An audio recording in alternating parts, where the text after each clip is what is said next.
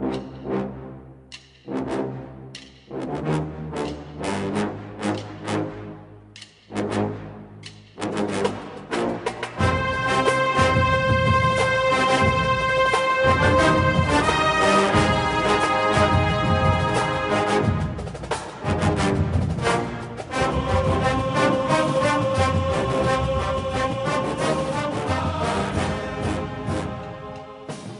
Happy signing day, Bucknutters. This is the Bucknuts Morning Five on Wednesday, February 3rd, 2016. I am Dave Biddle, and I am joined by Steve Helwagen. Steve, this is always one of the most exciting days of the year, and the Buckeyes have a chance to finish with the number one recruiting class in the country. They're currently sitting at number two, barely behind LSU. Ohio State is waiting on two prospects in particular, JUCO offensive tackle Malcolm Pridgeon and local Columbus standout Malik Harrison from Walnut Ridge High School. I know you're going to be going over to Walnut Ridge to cover Malik Harrison's event today, Steve. Uh, it's going to be a fun day, my man. I'm excited as always.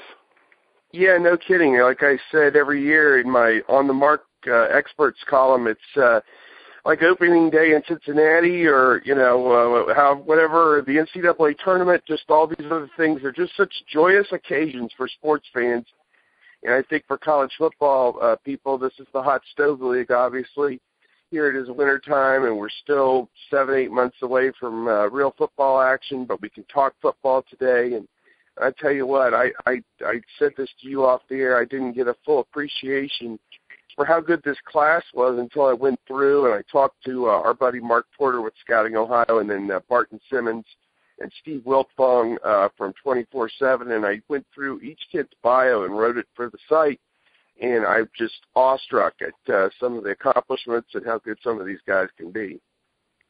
Yeah, the only weakness I see in this class, this is pretty obvious, is defensive tackle. Now maybe Malik Barrow will end up being a stud, and who knows, Nick Bosa. I, I think at the very least he'll be able to move inside at times like his brother did. But I look at this class; it's a heck of a class. The only weakness is defensive tackle.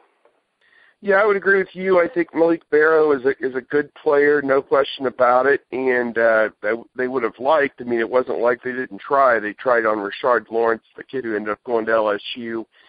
And uh, I'll just make a comment. You you brought up the the rankings. I'm not sure Ohio State's going to get that needle mover uh, today. You know, a blue chip top 100 guy who's going to put them over the top and make them number one. And honestly um, you know, they won a national championship a year year ago without having a number one class in there. So it's not the end all be all being number one, and everybody likes to beat their chest and everything. But uh, and again, I consider rankings rankings almost apples to oranges comparisons because class some classes will have 27 players, some will have 20, and I just don't know how you you compare that. In, in my mind, Dave, this is how the ranking should be done is weigh the first 20 players in everybody's class and leave it at that because anybody you take uh, after 20 that's rated from 1 to 20, anybody you take 21, 22, 23, 24, you know, those guys are probably just fill-in players anyway. So I think that it should be rated on the first 20 players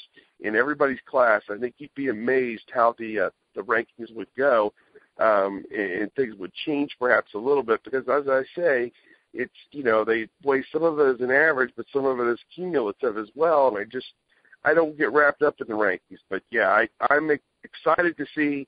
I mean, this is going to be another top five class. I think it's. uh I think Meyer had uh, last year was sixth, but uh, otherwise he's had nothing but top five classes at Ohio State, and this is going to be one of them.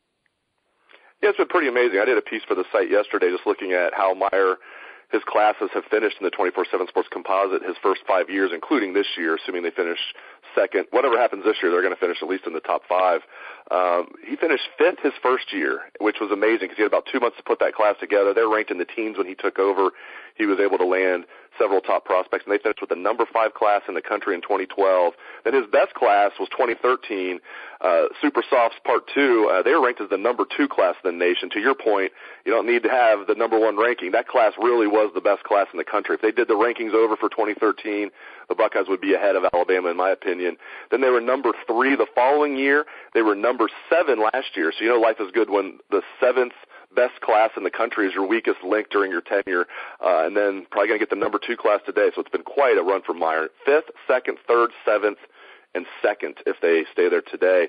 And it sounds like Malcolm Pridgeon and Malik Harrison are a done deal to Ohio State. Now we're recording this show just before 9 a.m. here on signing day, so by the time the listeners out there hear this show, both those guys could be in this class. Um, but as we're sitting here right now, they have not officially committed yet. But from everything we're hearing, Steve, Malik Harrison is in. Malcolm Pridgeon is also in, so those are that's going to get them to 25. So uh, just speak on those two guys, the the late additions to the class. Yeah, I think uh, Pridgeon uh, fulfills a need. Obviously, uh, he's a guy that uh, you know on the line that uh, you know they lost so many guys that I think they wanted to add a veteran, a JUCO transfer who could come right in and provide depth in the two deep, if not start. So I think that that that is probably his role right there.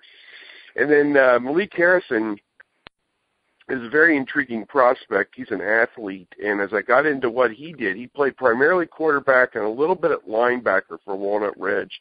And he's got some amazing highlights up there on uh, the internet uh, from YouTube, different things he's done.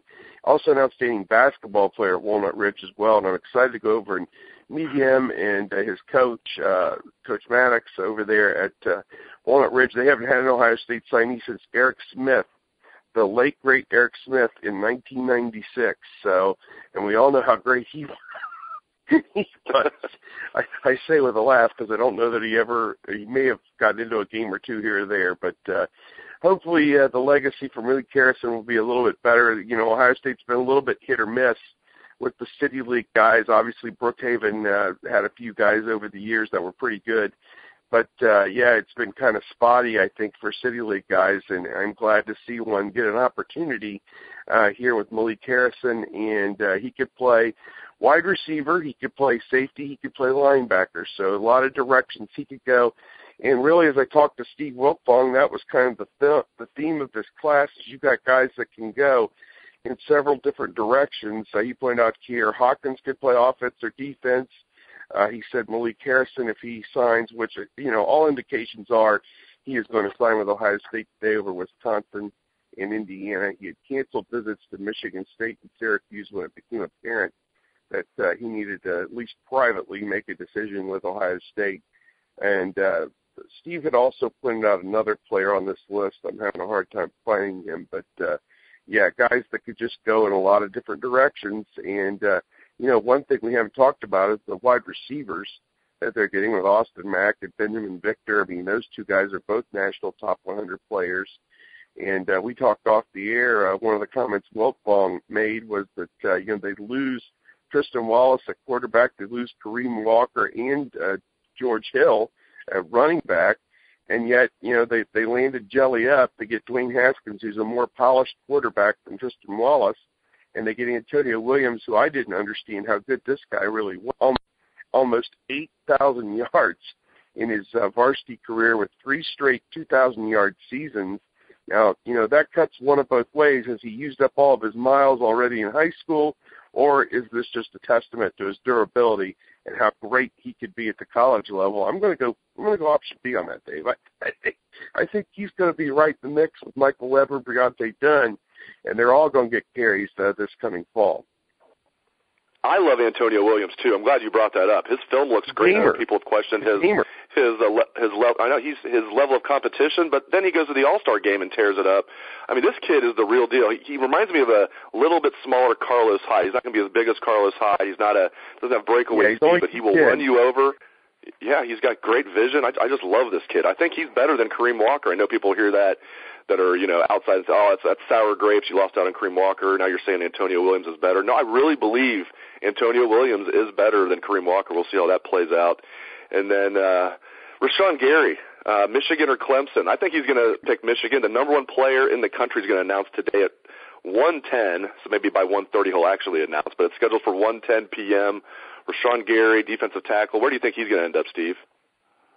I would vote Michigan. I think that uh, Harbaugh and his staff have done a great job of trying to, uh, you know, put the put the stakes down in New Jersey, and um, you know that's important. You know, when Michigan has had great teams, it's been a national uh, team with guys, you know, primarily from Ohio, but then uh, you know br- branching out all across the country.